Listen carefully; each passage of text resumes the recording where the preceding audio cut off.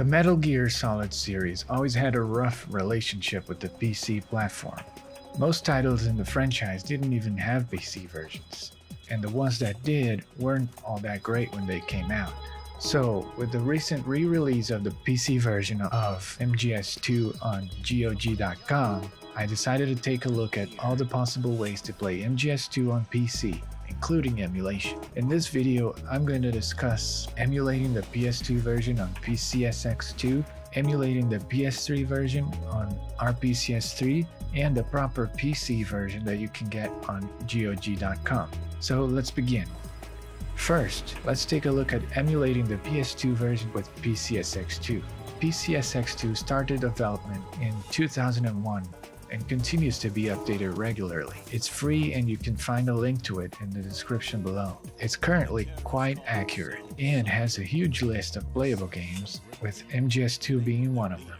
So how does it play on PCSX2? Well, the performance can be almost perfect if you have the right CPU. In my case, the i5 9600K is enough to play the game at 60 FPS almost all of the time. I've only seen a few drops in certain cutscenes.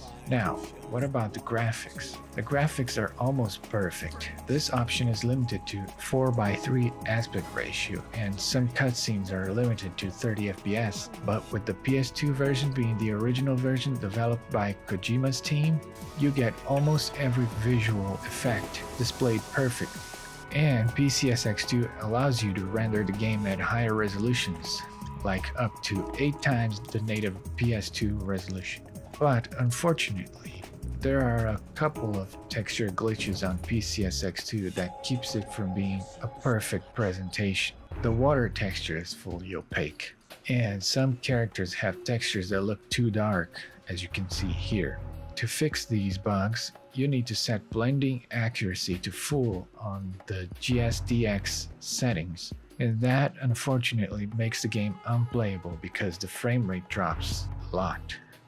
On the other hand, as you'll see later in the video, this version is the one with the best fidelity outside of these two glitches, so it's still a valuable way to play the game on PC. It's just up to you whether or not you find these glitches game breaking. Aside from that, the audio quality is great, and if you have a DualShock 3 controller, you can use the pressure sensitive buttons to put the gun down after aiming. Now, let's take a look at the PC version. This port was released in 2003 and wasn't very good even back then. To get the most out of it, you had to install a fan-made patch called VSFix that corrects a lot of problems with this port. You can find the link in the description below. The best part of this version is the performance. It runs perfectly even on low-end hardware. You'll be getting a locked 60 FPS most of the time. I say most because some cutscenes have a 30 FPS cap like the PS2 version, unfortunately. But those are few and far between.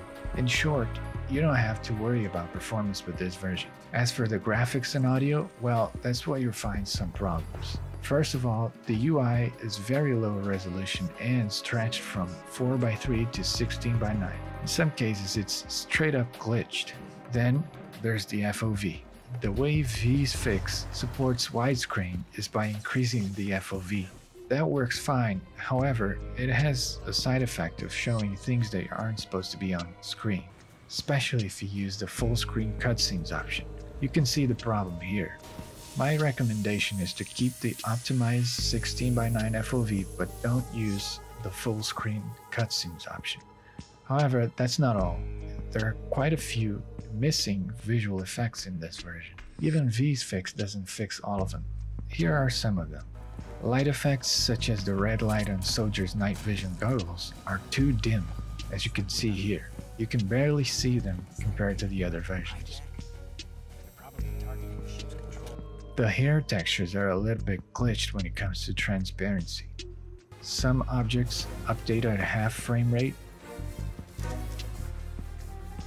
there's some weird artifacts when looking at the sky, kind of like a broken motion blur effect, missing a green filter in underwater scenes, missing helicopter turbine effect in the scene, missing this lightning effect, missing this splash effect, missing raindrops, bad texture quality, Anyway, you get the point. This version is definitely missing a lot of graphical effects, and as a result, I think the experience is quite worse compared to other versions. That's not all either. The sound quality is the worst of all the three versions. And some cutscenes have a weird audio mix where the dialogue comes from the left channel only. Your classic nightmare. In the end, I think this version is quite poor, unfortunately. And seems like there was no effort to correct these problems for this re-release, which is disappointing. Finally, let's take a look at the PS3 version running on the RPCS3 emulator. This emulator started development in 2011 and recently it's been having quite a fast development. It receives updates very frequently and its performance increases at a surprising rate. MGS2 on the RPCS3 emulator runs very well, up to constant 60 FPS if your CPU is fast enough. On my 9600K, it drops frames frequently, but the game is perfectly playable. Not only that, I haven't seen any visual glitches from the emulation itself. That's not to say that this version is perfect though. Despite the emulation being visually perfect from what I've seen, the PS3 version itself had some differences compared to the original PS2 version. And of course, these differences are still apparent. Some of the differences include missing raindrops like the PC version, missing a green filter on this scene and others. Missing the green filter on underwater scenes again. Missing the helicopter turbine effect. Missing the lightning effect again. Missing a contrast filter on this scene. And a few other minor differences. As you can see, the differences are similar to the ones on the PC version, but overall I think this version is still much better than that one. There are a few advantages to this one. The cutscenes don't show parts of the screen that aren't supposed to be seen, like on the PC version. And at the same time, the cutscenes play in full screen 16 by 9 with no problems or stretching. The UI is also perfectly adjusted for 16 by 9 without stretching.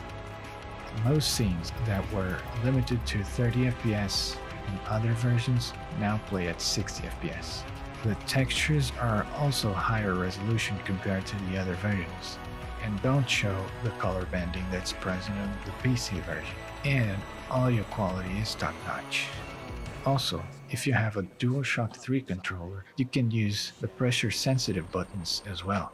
So overall, I think this version is the best for image quality and 16 by 9 support. It's the most modernized version you can get of this game at the moment. The downsides are the missing effects and the high-end CPU requirement. So now that we've taken a look at all of the options, what would be my recommendation as the best version to play on PC? Well, I think the best experience overall is the PS3 version on RPCS3. If you have a good enough CPU, definitely go for that one. If you don't have a powerful CPU though, the PC version is still a perfectly fine option for you.